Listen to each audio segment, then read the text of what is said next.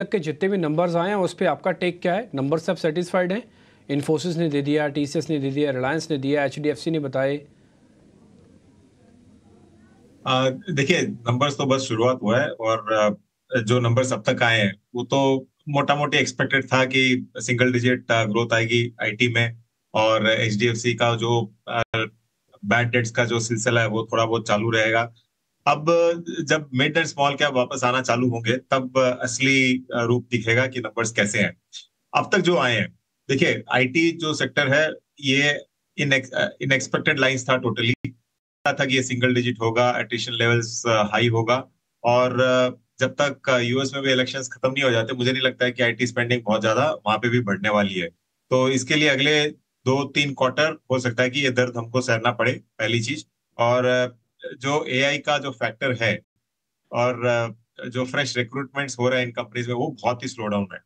तो आईटी एक एक तरीके से डोंट टच सेक्टर होके रखा है अभी फ़िलहाल और जब थिंग्स इंप्रूव होंगे तब देखा जाएगा।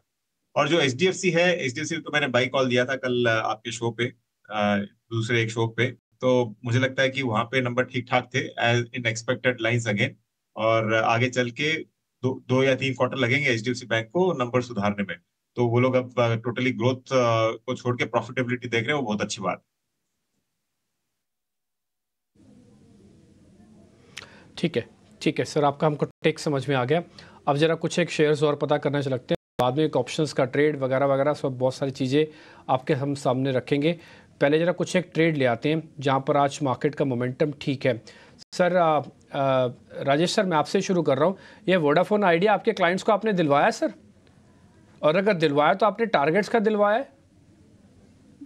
तो देखिए एफ़ में भी अप्लाई करवाया है क्लाइंट्स को और मेजर हमने अभी एफ़ में पार्टिसिपेट करवाया है और हमें लगता है जिस तरीके से मोमेंटम बना है वोडाफोन आइडिया में ये आ, एक आ, जिस तरीके का पार्टिसिपेशन आया है seven time around seven time यहाँ पे एप्लीकेशन जो आई है।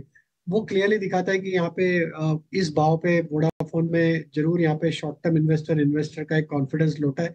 तो हमें लगता है कि वोडाफोन में ये मोमेंटम जो बना है, अगर ये फोर्टीन रुपीज़ के ऊपर सस्टेन होता है तो इसमें नेक्स्ट टारगेट जो बन सकता है, वो सोलह रुपए से अठारह रुपए की तरफ़ भी आते हुए दिख सकता है।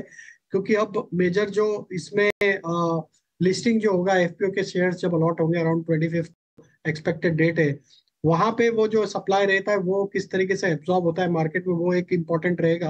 आ, लेकिन अगर वो सप्लाई एब्जॉर्ब होता है अराउंड फोर्टीन रुपीज़ के आसपास तो हमें लगता है कि इसका मोमेंटम फिर सोलह से अठारह रुपए की तरफ़ भी कंटिन्यूटी में आते हुए दिख सकता है। तो जिनके पास भी ट्रेड है लॉन्ग साइड का ट्रेड है बने रहना चाहिए।